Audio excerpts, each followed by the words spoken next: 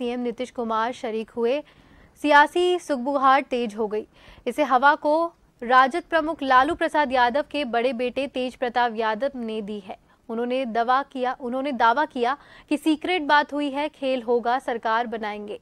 तेज प्रताप के दावे से बिहार की सियासत गरमाई हुई है।